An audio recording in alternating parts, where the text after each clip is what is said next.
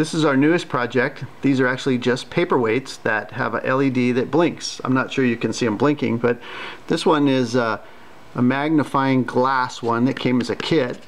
We made the circuit board, we stuck it inside of there, so um, I'm not sure you can see what's inside of there. So I'll explain this one. This one is actually epoxy, totally sealed all the way around. There's a circuit board in there and you can see there's a supercapacitor 1 farad 5.5 volt supercapacitor. We've got a 4.5 volt 6 milliamp solar cell.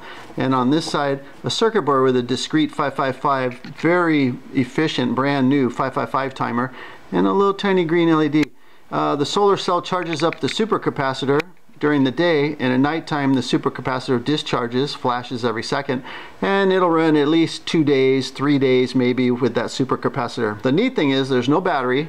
It's totally sealed in epoxy and uh, it'll be around long after we're all gone. But there's no battery so there's no uh, thousand cycles. It's just the capacitor that's going to charge up and discharge.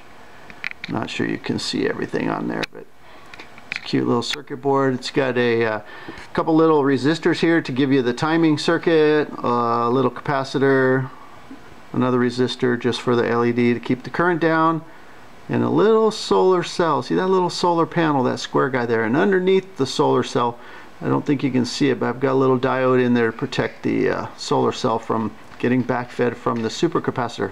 One farad, 5.5 volt supercapacitor. Good forever.